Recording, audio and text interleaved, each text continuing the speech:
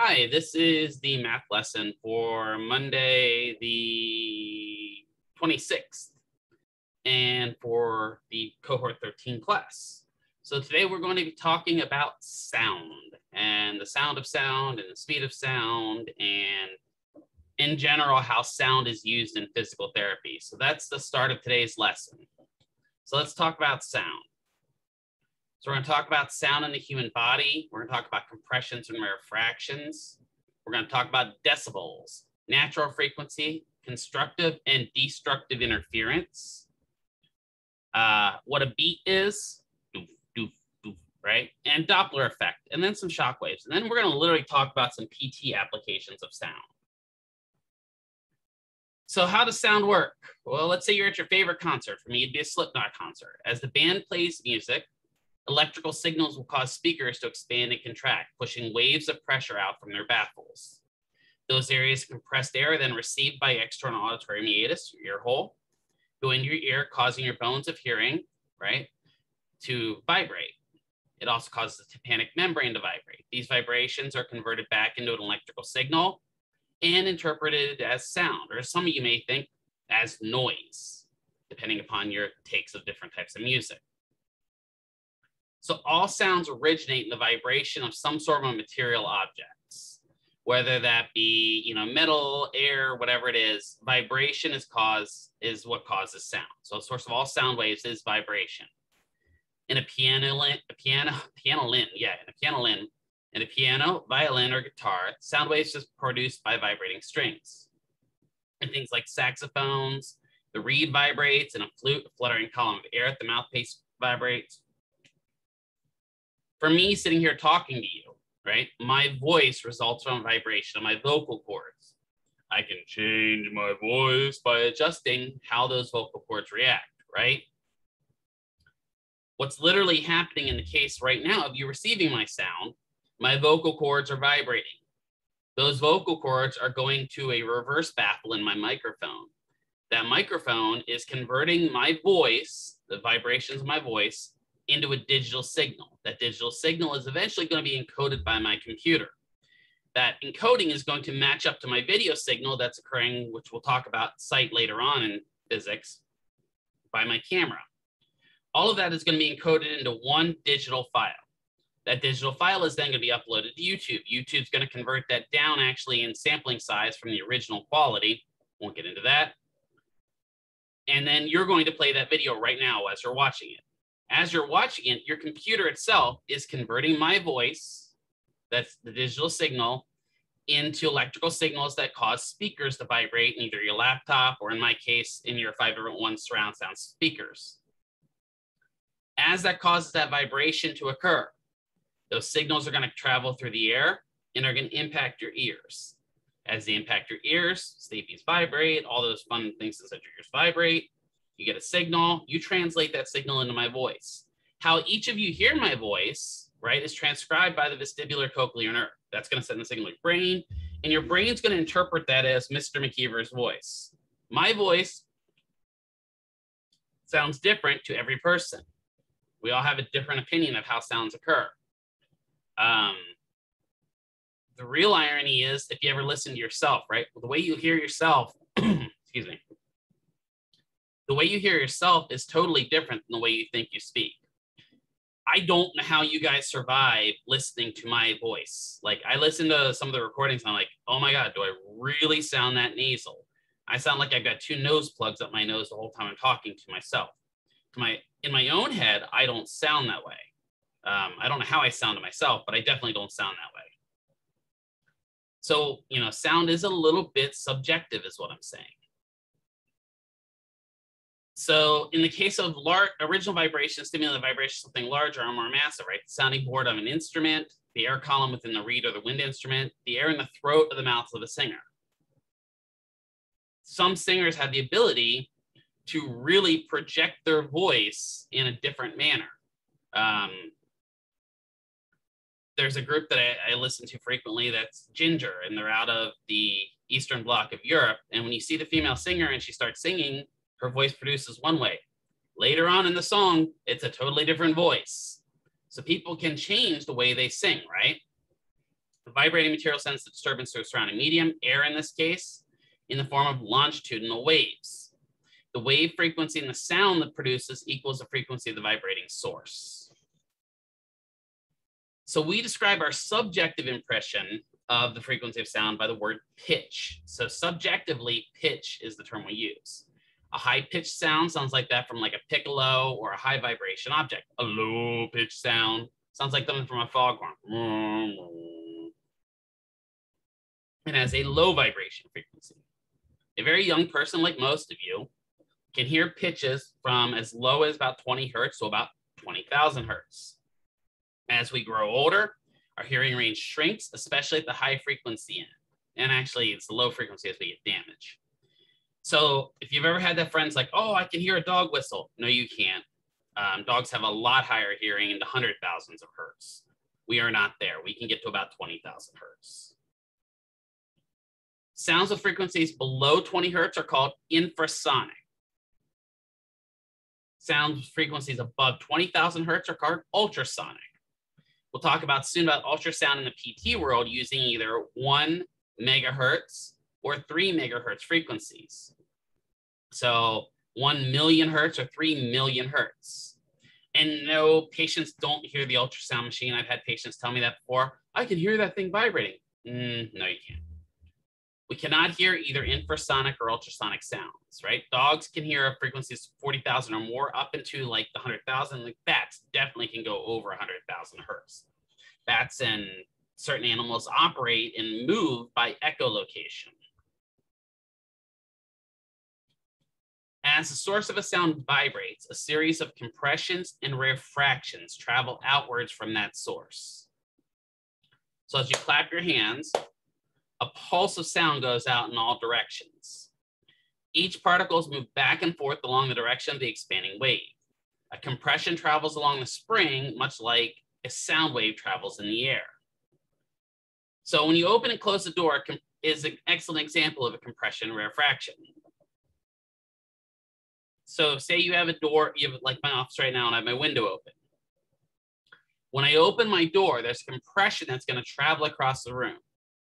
When the door is closed, a rarefaction or a compress area of low pressure is going to go, travel across the room. For a wave in motion, it's not the medium that travels across the room, but it's the pulse that travels. In both these cases, the pulse travels from the door to the curtain. We know this because in both cases, the curtain moves after the door is open or closed. When I open the door, the compression is going to travel across the room and push the window, the curtain out. When I close the door and create that area of low pressure, it's going to draw the curtain in. So you can think about this when you quickly open a door, you can imagine the door pushing molecules next to it into its neighbors. Those neighboring molecules then push into their neighbors and so on, and that compression wave moves along like a spring. Pulse of compressed air moves from the door to the curtain, pushing the curtain out of the way. This pulse of compressed air is called a compression. So when we speak, we have pulses of compressed air. That's how we speak. When you quickly close the door, the neighboring, the door pushes the neighboring air out of the room. It creates an area of low pressure next to the door. Well, we know that areas of high pressure tends to tra travel to areas of low pressure. So what happens at that point is those molecules try to fill in that area or zone of low pressure. So that results in this low pressure pulse moving toward, from the curtain to the door and that's called a rarefaction. That's that curtain blowing in. So on a much smaller but more rapid scale, this is what happens when a tuning fork is struck or when a speaker produces music. The vibrations of the tuning fork and the wave it produces are constantly considerably higher in frequency and lower in amplitude than the case of the swinging door. You don't notice the effects of a sound wave curtains on the or sound wave on a curtain, but you're aware of them when they meet your sensitive eardrums. So consider waves in a tube.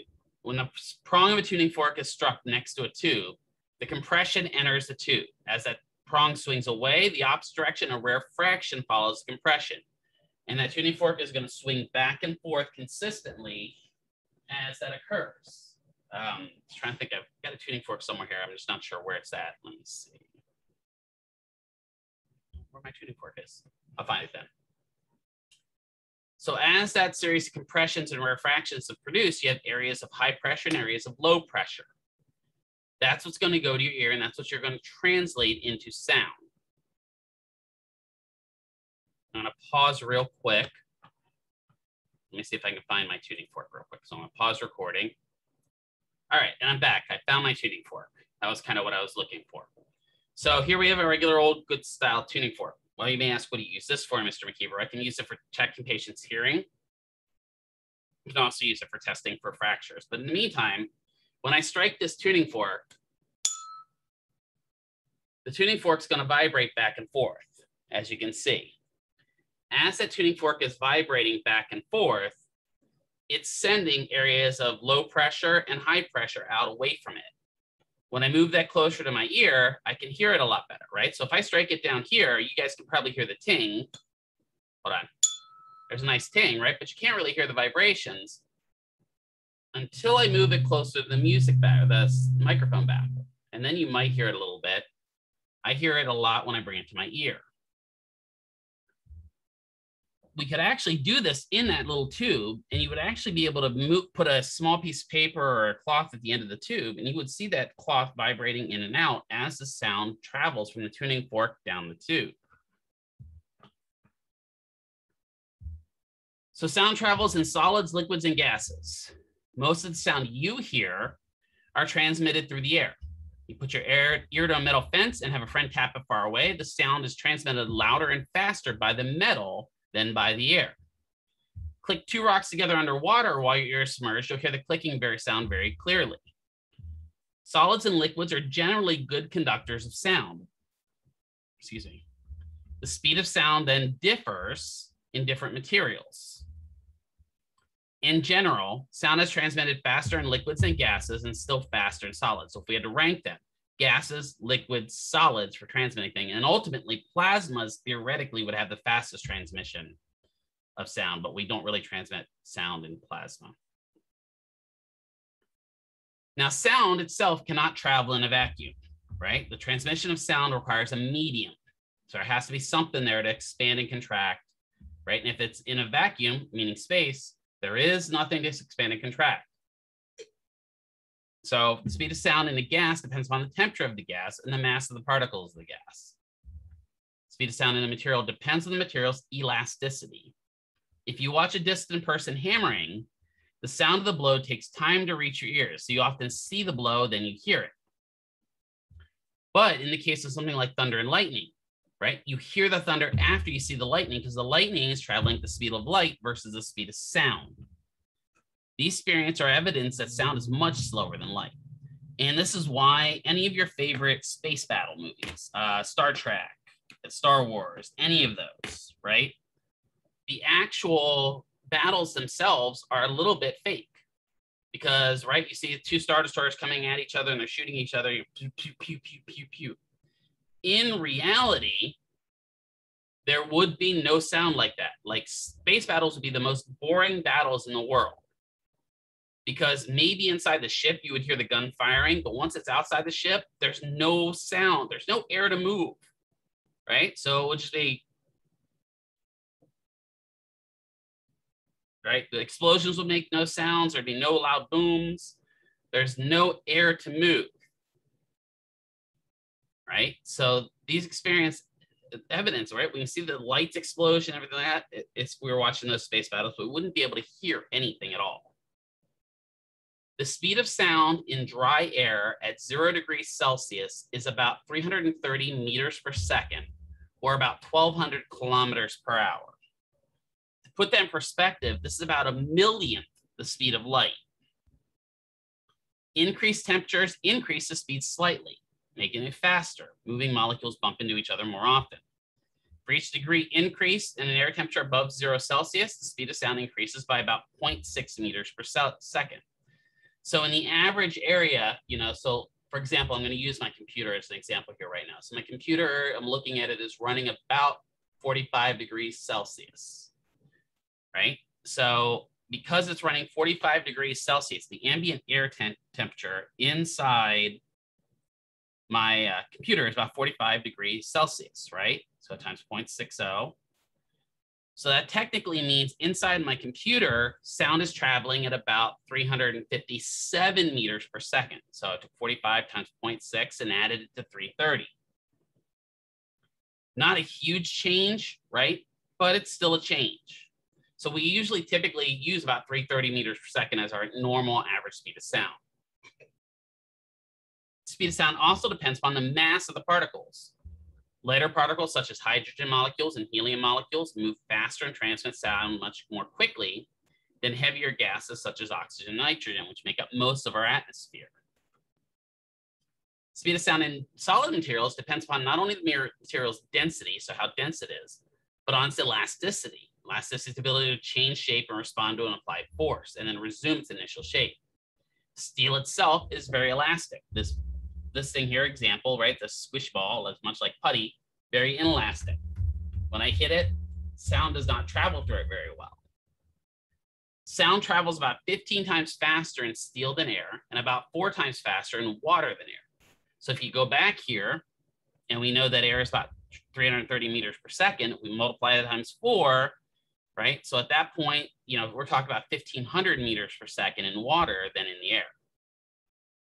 So how far is away a storm if you note a three second delay between lightning flash and the sound of thunder? Well, for the speed of sound in air, about 340 meters per second, figure out a certain temperature. We know that 340 meters per second times three seconds will be about a thousand meters or one kilometer away. The time of light is negligible since the storm is only about one kilometer away.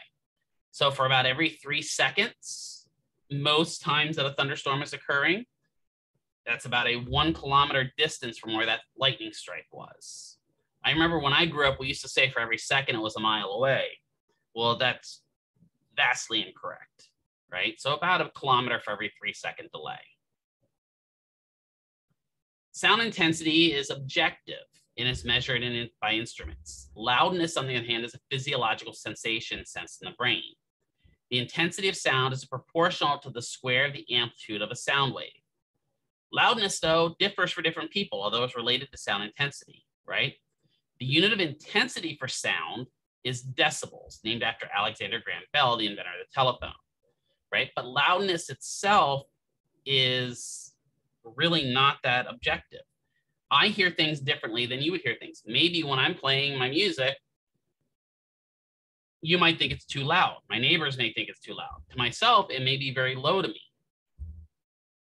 Right now in my house, I know for a fact my air conditioner to me is loud. I've gotten used to it though. I have accommodated to the sound of my air conditioner. But when I have friends over, they're like, man, how do you survive with this air conditioner? And I checked my, my Apple Watch has one of those decibel meters. And actually, let's see got my little decibel meter here on my phone. So let me break it out. So hold on here. So dB meter. So your phones have a decibel meter in them. You can actually use them. Uh, yeah, whatever.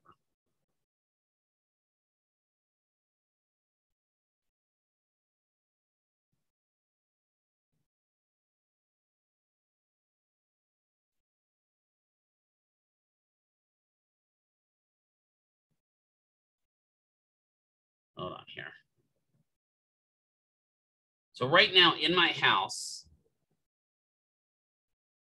if I don't speak, because as soon as I speak, my volume goes up.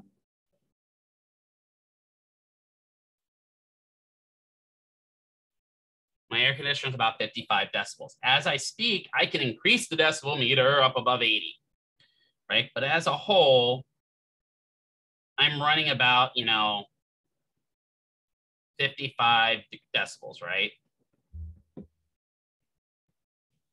Intensity is that. That is the intensity of the sound around me. That's how much pressure is being pushed upon me, right? It may not seem that loud to me because I'm used to it at this point, but it may be loud to you if you were in my house. Starting with the zero at the threshold of normal hearing to an increase of 10 decibels means sound intensity has increased by a factor of 10. A sound of 10 decibels is 10 times as intense as a sound of zero decibels. 20 decibels is not at, the, is not twice as strong as 10 decibels, but 10 times as intense as 10 decibels, or 100 times as intense as a threshold of hearing. 60 decibels is 100 times more intense than a 40 decibel sound, so it constantly goes up on a logarithmic scale. So looking at the sound levels here, um, let me bring this up one second here. My computer's freezing up. Hold on one second. I'm going to pause recording. Okay, sorry about that. Evidently, somebody's trying to send me a request to talk on the computer and I just didn't know what to do with it. So I'm back. So this is looking at the decibel levels here, right? So again, zero is the threshold of hearing. That is as low as you can hear, right? So as we go up, normal breathing, 10 degrees, close whisper, 20 decibels, right? 40 library, normal speech about 60, right? I, you could see, let me start this again here. So again, you're seeing as I start speaking, it goes up into the 80s, right? And why is that going up into the 80s? Well, because it's taking the ambient noise of my air conditioner plus my voice as well. Busy traffic street about 70, average factor about 90. Subway train 100, loud rock music at 115. Threshold of pain is about 120 decibels. The jet engine at 30 meters, so quite a distance away, is 140 decibels. Right, so that's pretty interesting to look at, right? So decibels are what we're looking at there.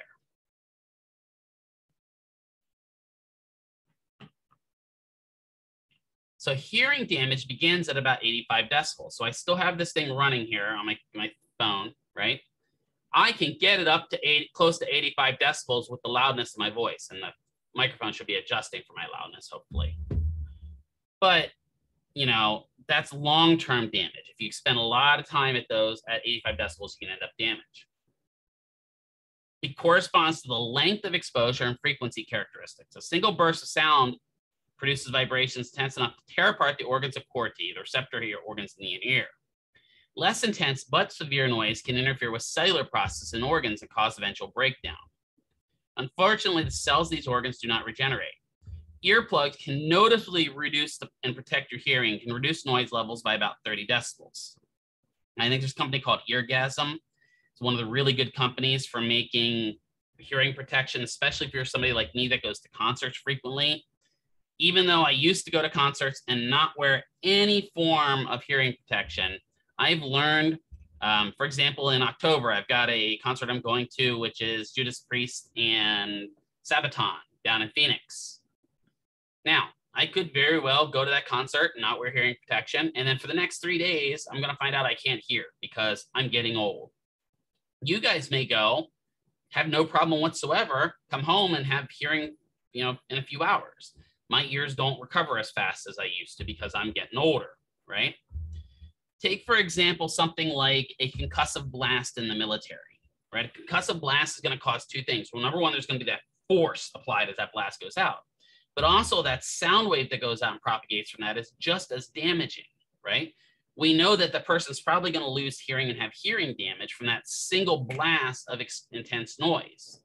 But the other thing that we don't think about is the way that sound wave propagates through the brain and through all the organs, that can cause long-term damage as well to the body because of that intense sound wave right? So that can be really dangerous to people. And we've had many, many soldiers come back that may be fine structurally, right? But they've suffered some really, really bad traumatic brain injuries as occurrence of these explosions.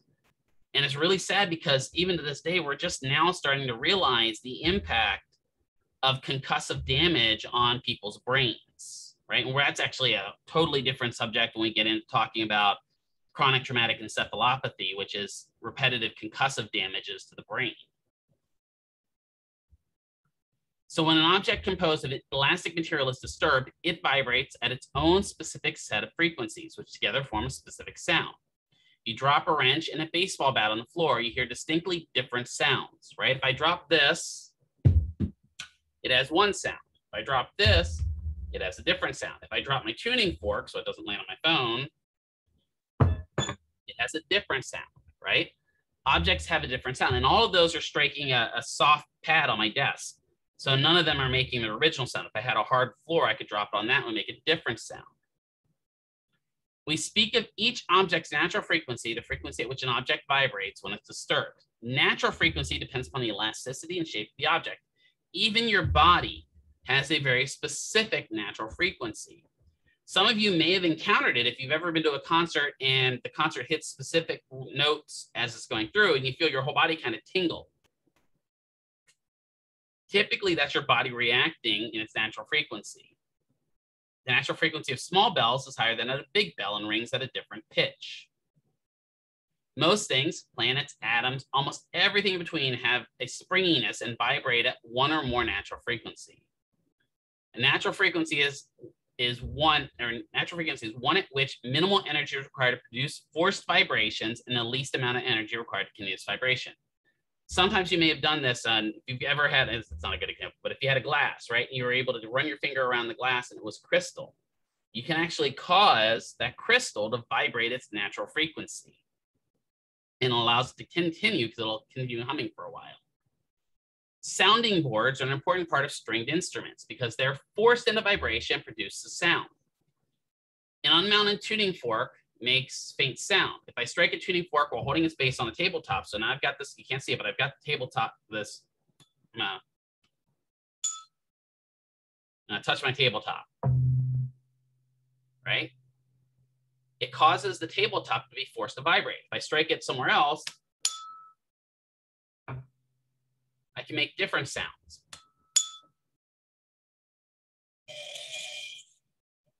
Right? It causes things to be into forced vibration. Forced vibration occurs when an object is made to vibrate by another vibrating object that is nearby. The vibration in guitar strings in an acoustic guitar would be faint if they weren't transmitted by the guitar's wooden body. Without that sounding board, the sound of the guitar strings makes is barely audible. An object resonates when there's force to pull it back and forth from its starting position, enough energy to keep it vibrating.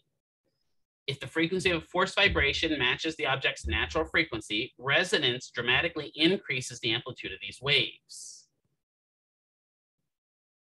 If you pump a swing in rhythmic and rhythm with the swing's natural frequency, you start going higher and higher, right? Timing is more important than force at which you pump.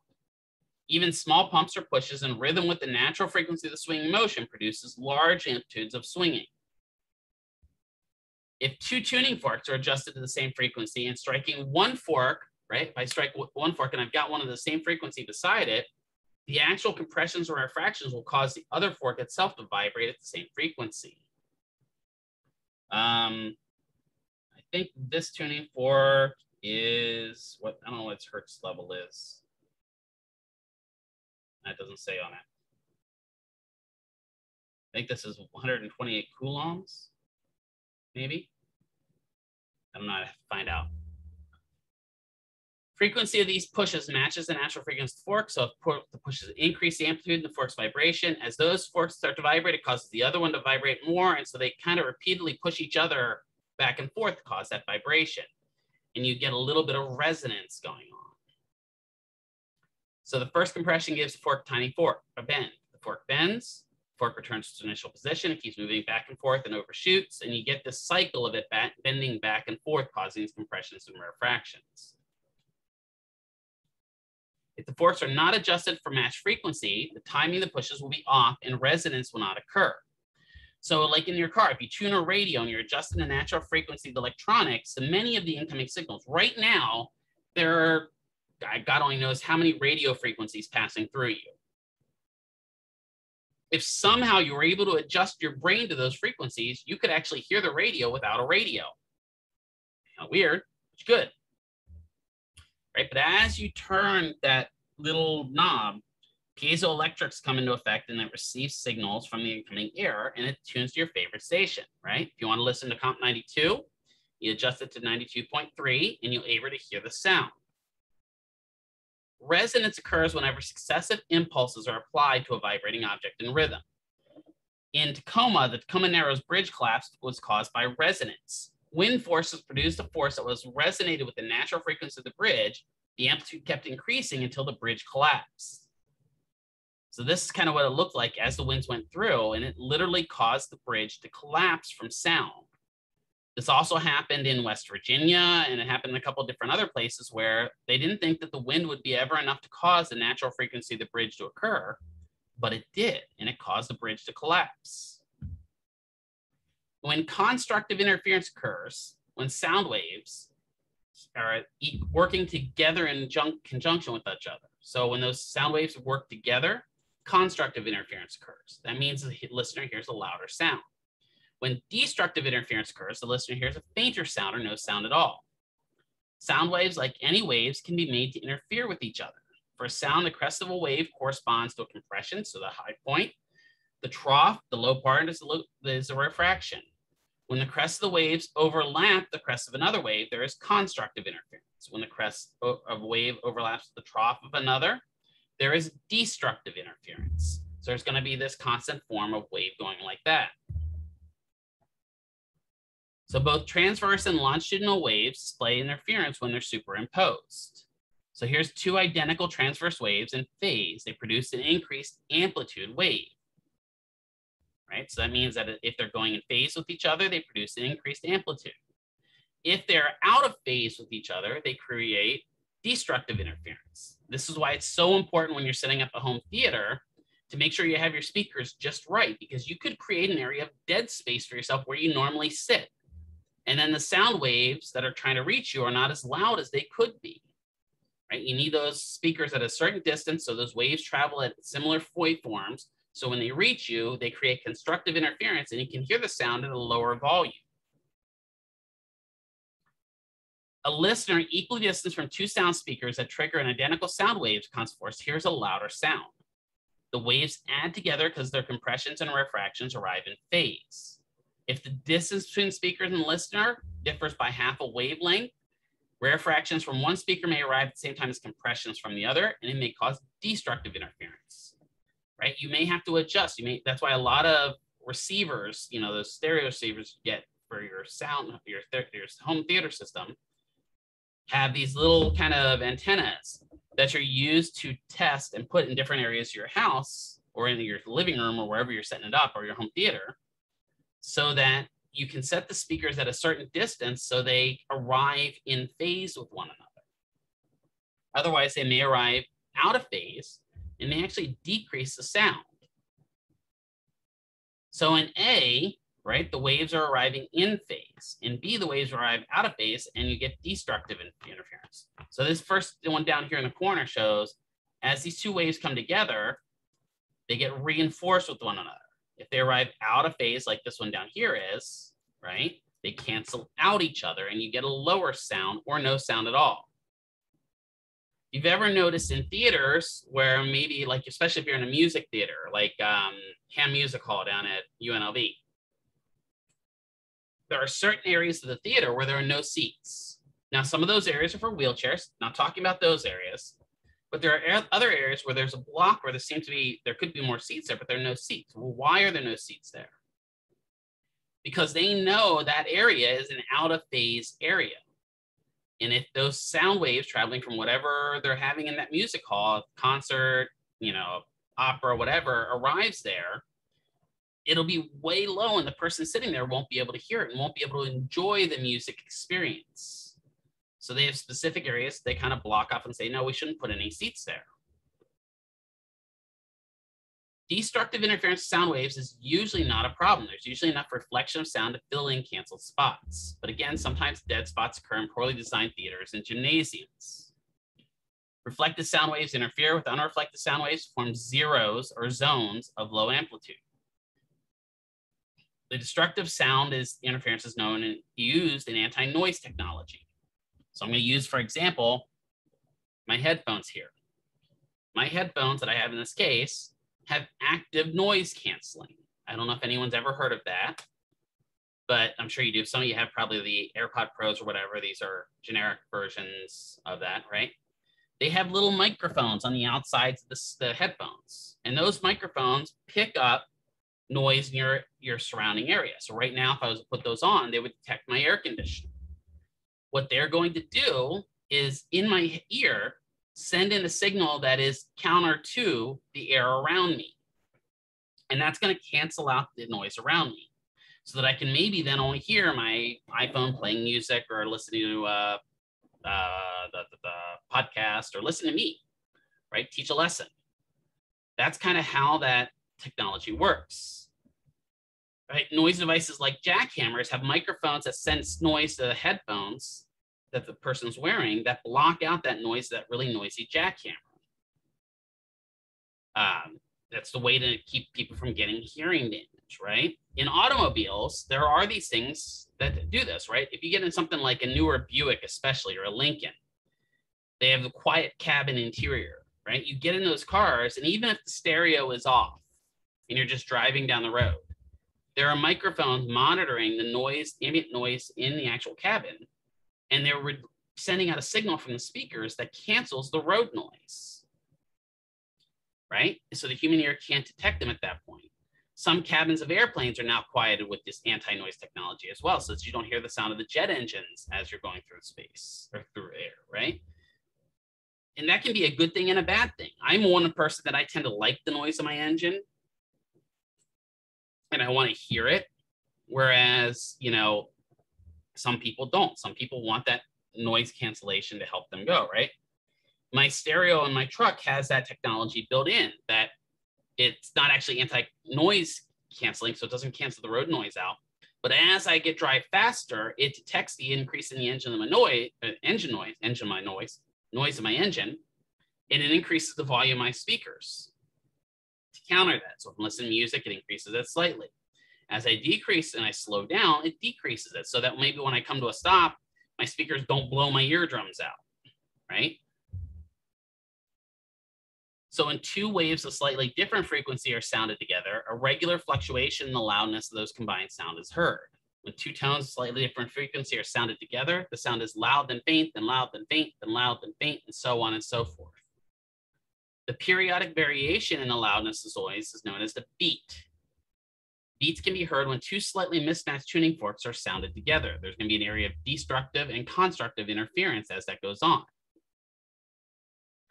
Beats can occur with any kind of wave and are a practical way to compare frequencies. To tune a piano, a piano tuner listens for beats produced between standards of a, a tuning fork and a particular string on the piano. When the frequencies are identical, the beat disappears. Members of an orchestra tune up by listening for beats between their instruments and a standard tone, right? That's kind of what the conductor's there for. This leads to this thing called the Doppler effect. The Doppler effect is a change in frequency dependent upon movement and position of either the receiver or the producer. In the case of a sound, we hear this as a change in pitch. In the case of hmm. movement waves, such as ocean waves, we experience this as an apparent change in speed. We can use this phenomenon to measure things like the depth of a lake, for example, or in a human baby, or human terms, the size, shape, and appearance of a baby, right? We use Doppler and ultrasound. The Doppler also applies to light increasing in light frequency when the light sources approaches you, decrease in frequency when the light moves away from you, right? Star spin and the speed of the star can be determined by shift in movement when we observe them in the sky. Dopplers also affect light. Like I said, there's blue shift, increase in frequency towards the blue end of the spectrum, and red shift, decrease in the wave frequency towards the red end of the spectrum. You know, rapidly spinning star shows a red shift on the side facing away from us and a blue shift on the side facing us. Shock waves are patterns of overlapping spheres that form a conical wave traveling at speeds speed of sound. It consists of two cones, an area of high pressure generated by the bow of a supersonic aircraft, an area of a low pressure that follows that tail of the aircraft. It is not required that a moving object be noisy, right? An airplane traveling at supersonic speeds may not make much noise at all, right? But you'll hear a sharp crackling sound generated by that supersonic aircraft. That's why a lot of times planes are not allowed to go Mach speed or greater than the speed of sound over cities because there's that rapid compression of sound that creates that sharp crackling noise. The intensity is due to overpressure and underpressure of atmospheric pressure between the two cones you know, produced before it broke the sound wave. So example here, right? I've got a plane that's traveling at supersonic speed down here in the left-hand corner. It's pushing the air out in these two cones. But behind it, there's an area of super low pressure. Well, these two cones will crash together behind the plane and create that supersonic boom or crack that occurs behind a supersonic plane.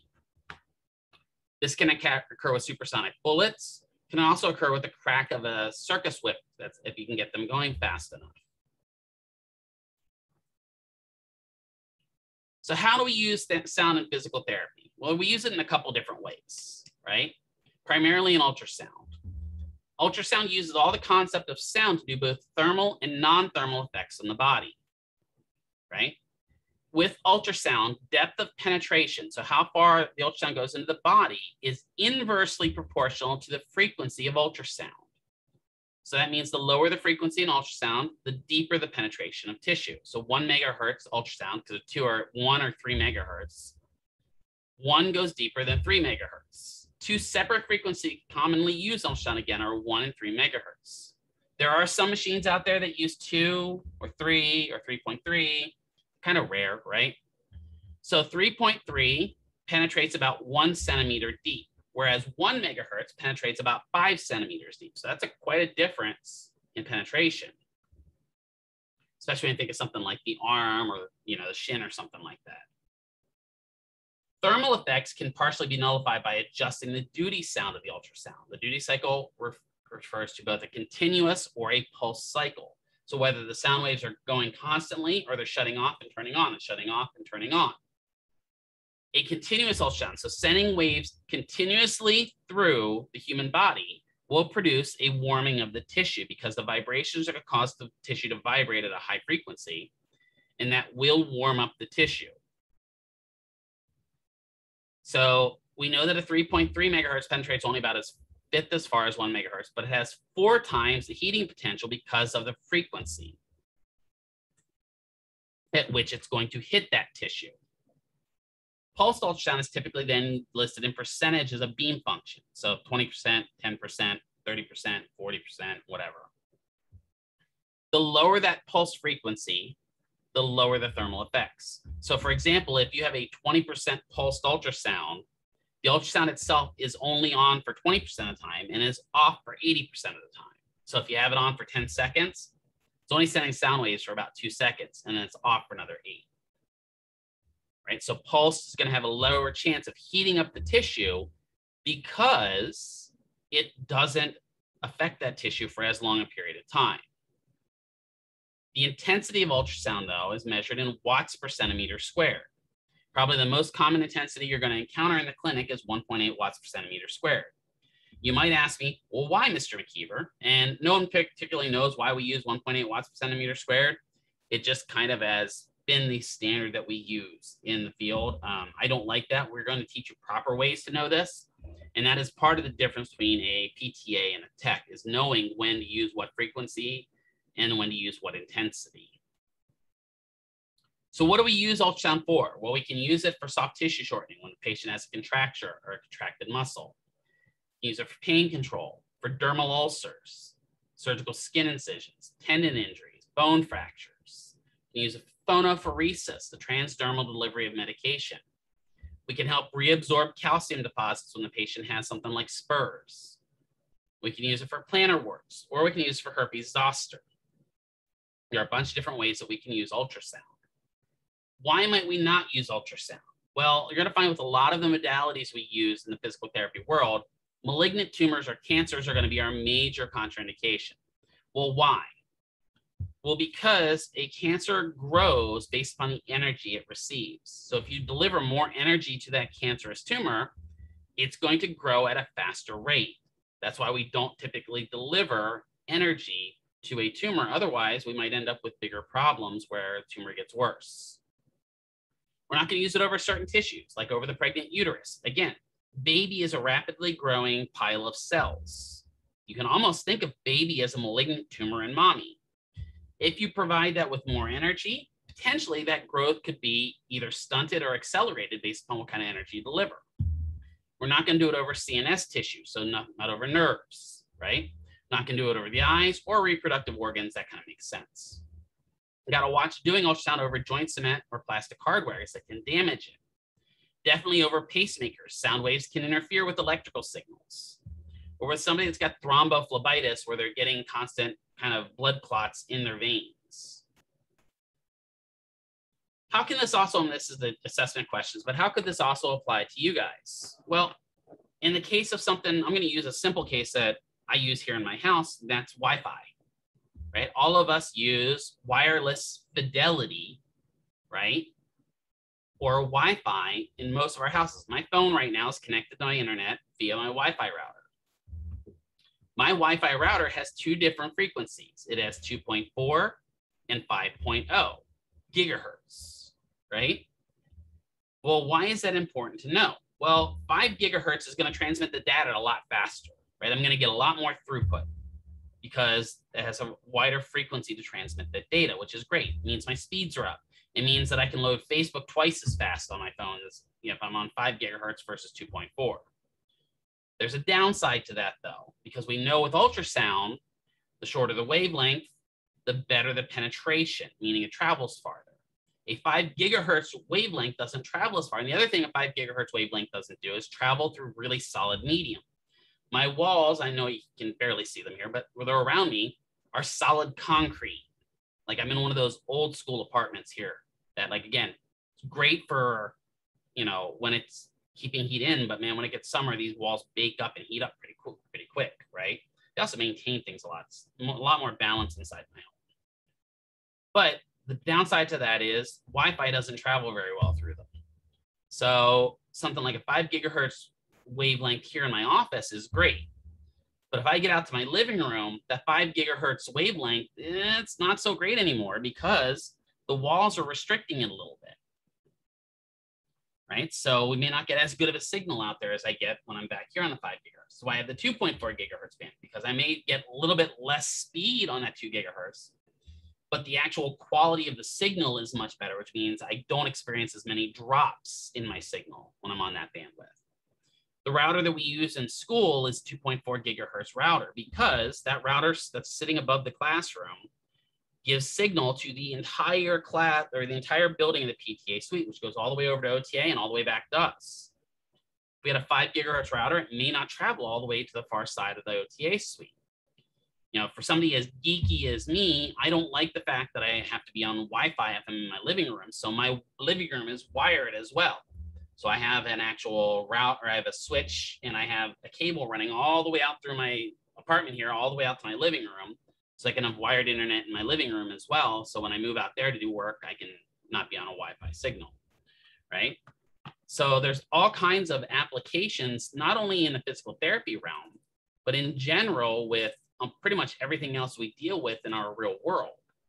So, you know, for those of you that maybe you're having problems because you're like, man, my my signal kind of sucks in here in my office or my living room or whatever. Try checking your router and see if your router has the two gigahertz bandwidth. Because if it does, you may actually get better signal and better quality of your Wi-Fi by switching to that smaller, that 2.4 gigahertz bandwidth and get a better picture quality on something like observing a video from us here in, you know, broadcasting or something like that.